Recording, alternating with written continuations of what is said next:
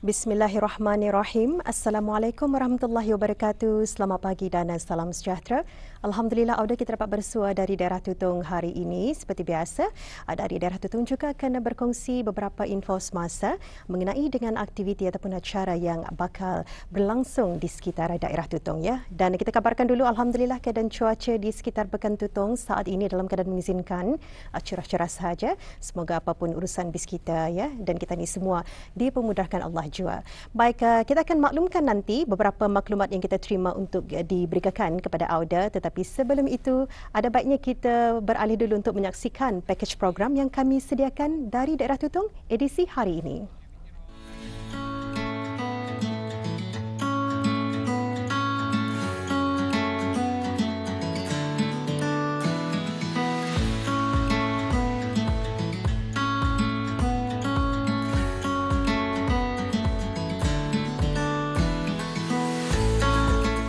Dayang Haja Soyang Haji Mahmud berasal dari kampung Kuala Tutong mula bergiat aktif dalam seni kraft tangan sejak tiga dekad yang lalu.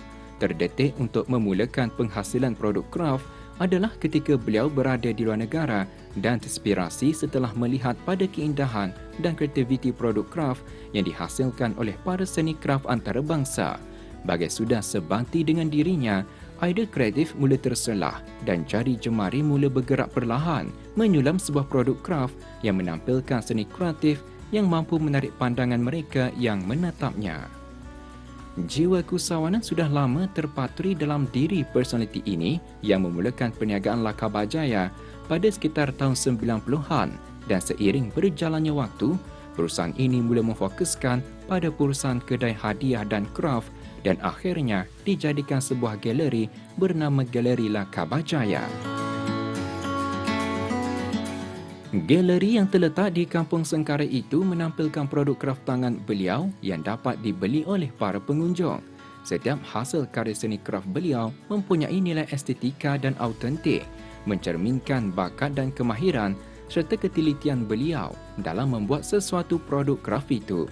Kemahiran yang beliau perolehi itu tidak didapati dengan mudah, malah perlu berbelanja sejumlah wang untuk mengikuti kelas dan kursus untuk memahirkannya. Selama bergiat dalam bidang kraft tangan, beliau telah mengunjungi beberapa buah negara serantau seperti Malaysia, Indonesia dan Thailand demi mengikuti kelas secara fizikal untuk menimba ilmu di samping mempelajari teknik-teknik baharu daripada guru-guru yang berkemahiran. Antara yang dipelajari beliau adalah seperti teknik decoupage, suspenser transparente, frame bag, centered ceramics dan banyak lagi. Kalau mendapatkan ilham itu sebenarnya kita ni cara jalan cara anda sendiri anda buat sendiri kita ni barang itu kan ada kita ni nampak barang itu.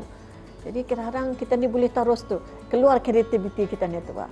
Ha, kadang-kadang kalau dari Facebook itu uh, ada kita ni nampak dari dari buku-buku itu kan banyak barang ni boleh lagi diolah macam mana. Uh, jadi jadilah dah semestinya macam kita ni belajar atu atu saja. Mesti kita ni buat mengulah lagi balik lah. Uh, masa tu mula-mula babu membuat kraft tangan atu dari awal lah. Dari awal tu dari tin. Masa tu uh, babu ke Malaysia.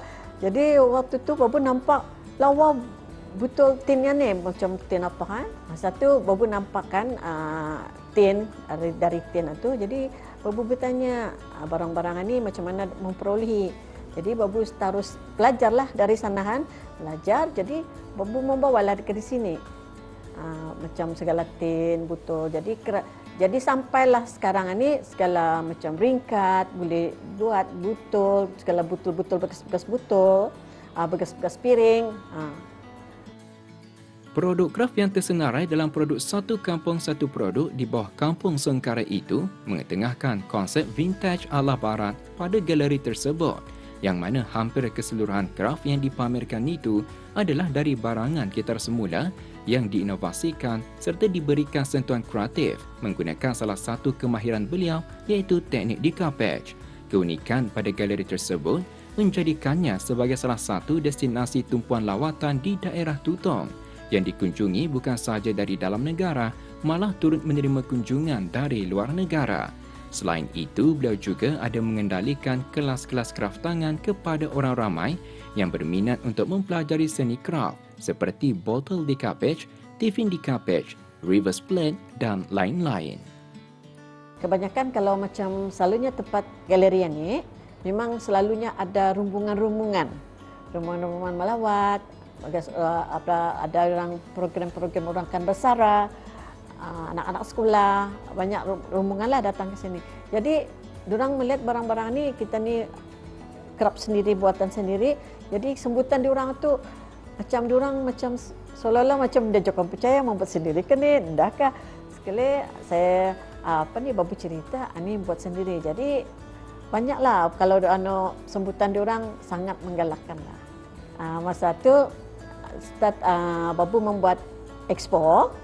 Masa tu babu, uh, babu buat expo membawa membawa barang-barang yang babu buat ni sebagai handicraft apa. Jadi sanalah orang bertanya di mana tempat-tempatnya. Ha, dari sanalah babu mempromo barang-barang ini sampai sekarang. Kalau uh, tempatnya galeri babu ni di Kampung Singkarai, uh, macam tahu saja orang tu kalau lakaba uh, lakaba dari luar tu orang tahu tu kadainya uh, uh, galeri babu tu.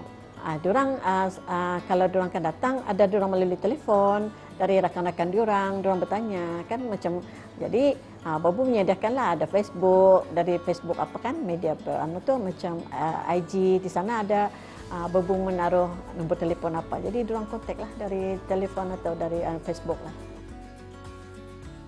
Selama berkecimpung dalam dunia keusahawanan kraft, beliau telah menerima pelbagai anugerah dan antara pencapaian cemerlang beliau ialah apabila beliau telah menerima anugerah usahawan wanita ASEAN cemerlang pada tahun 2019 di Persidangan Perniagaan Wanita ASEAN yang diadakan di Bangkok, Thailand.